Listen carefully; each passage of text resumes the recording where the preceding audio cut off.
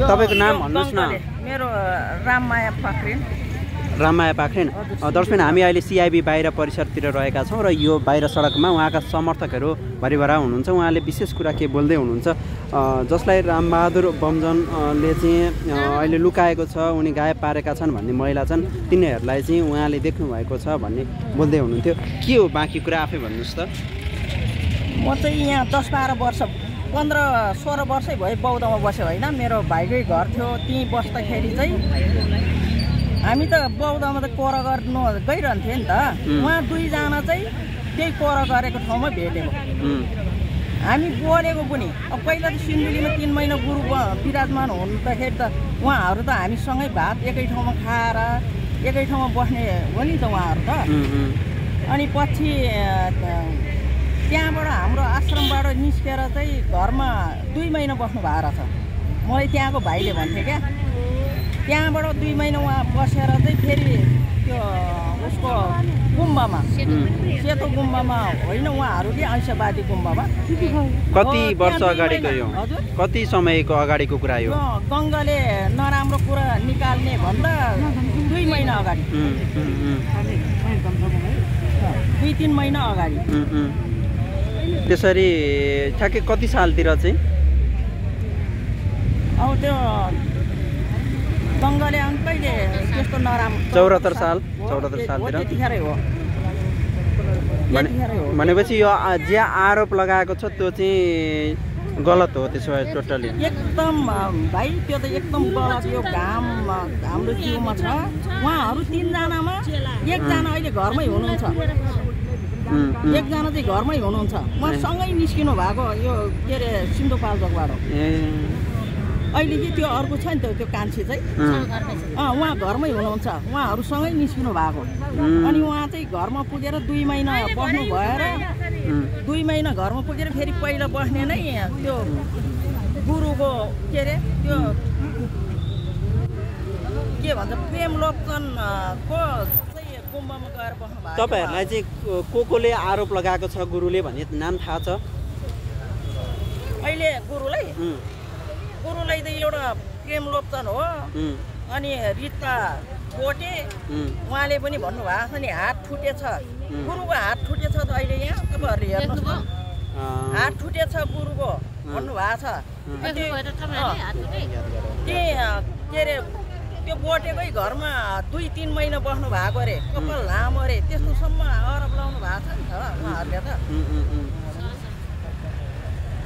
भनेपछि गुरु सत्य हो नि। हामी त गुरु एक महिना तपस्या बसेकोदेखि सँगै बस्नु बसेको हामी सबैजना। उहाँको त्यो घरमा चाहिँ कति धेरै पैसा रहेछ? तिन करोड जस्तो पैसा कहाँबाट आयो होला? त्यत्रो धेरै पैसा चाहिँ त्यो त अब हामी सङ्घ सङ्घबाटै त हो नि।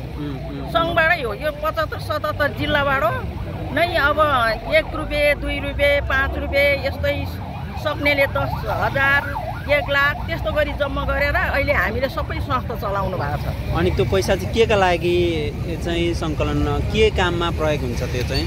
त्यो त अब कार्यक्रम हुन्छ उहाँ कामहरू हुन्छ हाम्रो यही पचहत्तर सतहत्तरबाट अब यस्तै गरी मान्छे आइबस्नु हुन्छ नि त। अनि अब तपाईँहरू चाहिँ के गर्नुहुन्छ त? पक्रा परेर अहिले सरलाई लाँदैछन् होइन? होइन हामी सँगसँगै जाने हो। सरलाई जानुहुन्छ? सरलाई चाहिँ हामी सिन्धुली हो घर। सिन्धुली नै हो। अब कसरी जानुहुन्छ? के गाडीहरूको व्यवस्था गर्नुभएको छ? कि हामी सिन्धुलीबाट आएको नि त अहिले।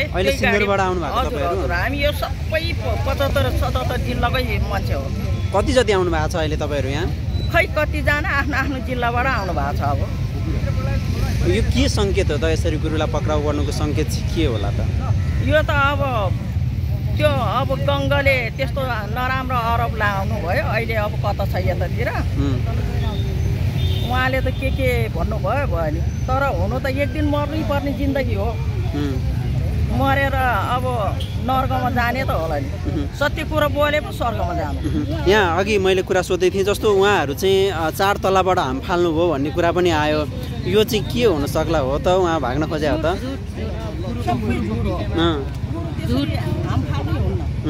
गुरुले किन उहाँ प्रहरले देखायो भनेर अघि पत्रकार सम्मेलनमा पनि बोले। देखाउनु नि त हामीले। हाम फालेको फोटो ल्याउनु नि त हाम्रो अगाडि। सार्वजनिक गर्नु। यदि हाम फालेको थियो भने देखाउनुहोस् त सक्छ? सक्छ? हलखोरेमा सत्रजना त्यत्रो के अरे आर्मीहरूले के गोली हानेको होइन र गुरुलाई? गोली हानेर मऱ्यो तिमीहरूको गुरु मऱ्यो भनेर फोटो खिचेर पछि गुरु उहाँ आश्रममा जस्तोको तस्तै हुनुहुन्थ्यो। सत्रजना त माओवादीले होइन त्यो घरले पनि हानेको हो नि दर्शक हामी अहिले यहाँ सिआइबीको बाहिरतर्फ रहेर उहाँसँग चाहिँ उहाँका अनुयायीहरूसँग कुराकानी गरिरहेका छौँ। उहाँको अनुयायीहरूले चाहिँ विभिन्न यो कपडा ड्रेस पनि लगाउनु भएको छ। विवाहित महिलाले यस्तो हरियो ड्रेस लगाउनुहुन्छ भने अविवाहितहरूले अलिकति कलेजी टाइपको र पुरुषले लाउने निलो ड्रेस रहेको छ। हामी देख्न सक्छौँ र पुरुषहरूले चाहिँ निलो ड्रेस लगाउनु भएको छ र विभिन्न यो ड्रेस कोड पनि रहेको छ राखिएको छ। यसरी उनीहरू चाहिँ अत्यन्तै दुखी रहेका छन्।